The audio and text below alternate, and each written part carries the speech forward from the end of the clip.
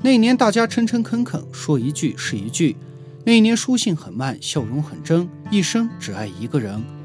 本期给大家解说的是一九七九年拍摄的纪录片《中国人的面貌》。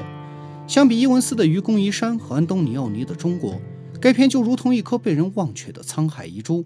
别说找片源了，就连基本的介绍资料都没有。而在最近的半年里，我经过多番折腾和努力，终于从国外的某国家影像档案馆寻到了该片的高清版本，并请人进行了听译。虽然影片只有短短的三个小时，但却记录中国各地的人情风物。是一份非常珍贵的历史影像。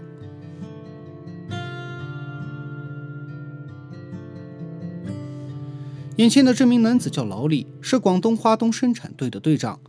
每天早上七点以前，他要赶到广播室通知村民出工，所以天刚蒙蒙亮，一家人便爬起来忙着洗脸漱口、生火做饭。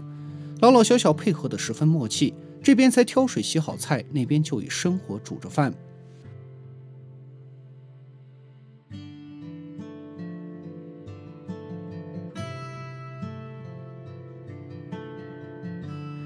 吃完后，老李匆匆赶到了广播室。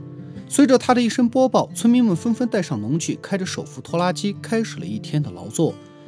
在旧社会，少数地主占着全中国将近一半的土地，农民几乎一辈子都是在替地主打工。不少人甚至是吃了上顿没下顿，可谓四海无闲田，农夫犹饿死。像历代封建王朝，为什么没有一个能超过三百年？为什么每到一个历史节点便会一键重启？其实这一切归根结底就是两个字：土地。所以解放后，新中国实行了土地改革，真正做到了耕者有其田。像在华东人民公社，生产队会根据每个人的体能以及工作时间和工作效率来记录工分。正常情况下，一个体格健全的成年男子一年能挣四千个工分，大概相当于三百二十块现金。而每年根据收成的好坏换算比率会有略微的浮动。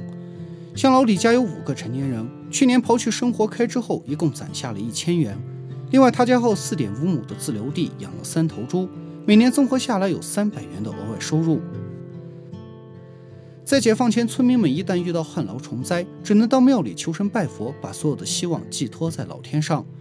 如今，华东公社拥有了气象观测仪，能有效的预防自然灾害。而农科站的技术员对症下药，根据当地的害虫特点，自制了专门的杀虫剂。另外还改良了土壤，研发了新的种子。当时每个生产队至少会配备一到两名技术员，甚至像华东公社这样成立一个农科站，这有效防止了农业技术被资本垄断，使农业技术完全服务于老百姓，而不是服务于资本。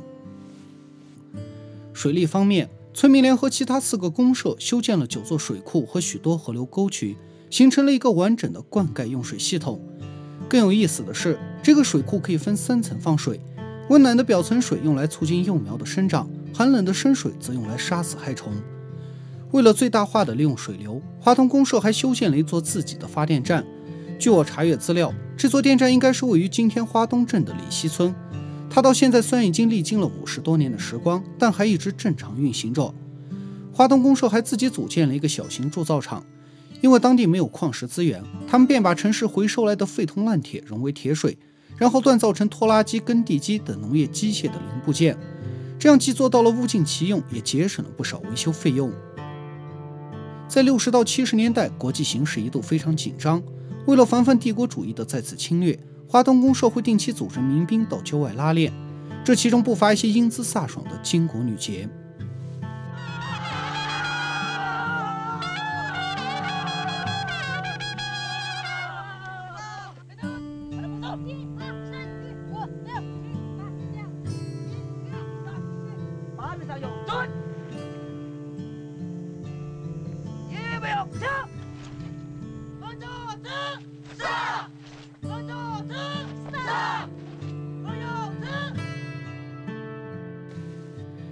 由于当时没有个人经营的商店，所以柴米油盐、衣帽鞋袜、铁锹锄头等各类生活劳作用品都需要到供销社购买，而且很多物资都是限量供应。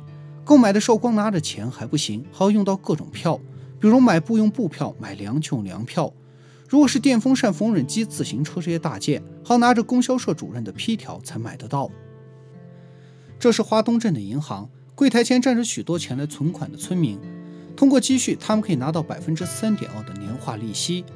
整个银行呈半开放式，没有铜墙铁壁，没有防弹玻璃，而工作人员数钱点钞全靠手，账目也是靠算盘计算。那会也没有信用卡，没有超前消费的理念。虽然收入不如现在高，但是有一分过一分。目前华东公社一共有二十六所学校，共有一万多名学生。像在安东尼奥尼于九七二年拍摄的《中国》中，农村的小学连课桌黑板都没有。相比而言，华东公社的学校要好很多。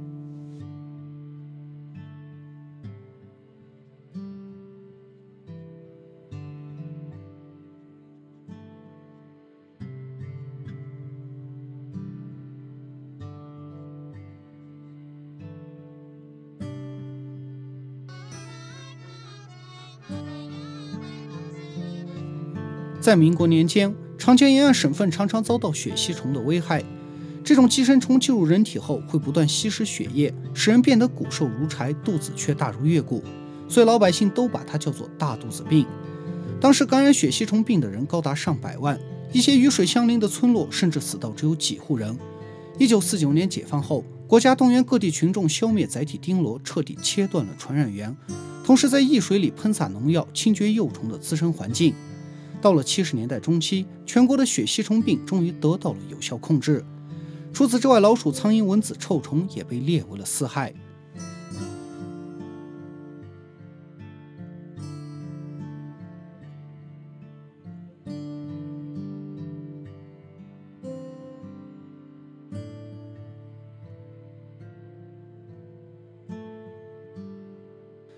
在过去，农民几乎享受不到任何的现代医疗服务，常常都是一病穷三代。但现在，村民每年只要交一块钱，就可以享受到全部的医疗服务。为了提升农村的卫生医疗条件，公社会挑选一些农民前往城里学习基础的医护知识，这就是我们常常说的赤脚医生。他们是插秧种田，闲时医病救人，虽然水平不是很高，也治不了什么大病，但应付感冒、发烧、跌打损伤之类的小病还是绰绰有余的。像这个小小的药箱里装着各种急救工具和药物，堪称当时农村的移动医院。由于西药的价格比较高，所以公社便自己生产中药丸，而赤脚医生也多使用中医的方法来治疗疾病。这其中以针灸最为常见，它能治疗头疼、风湿等多种疾病，也可用于初级麻醉。很多西医直对此持怀疑态度。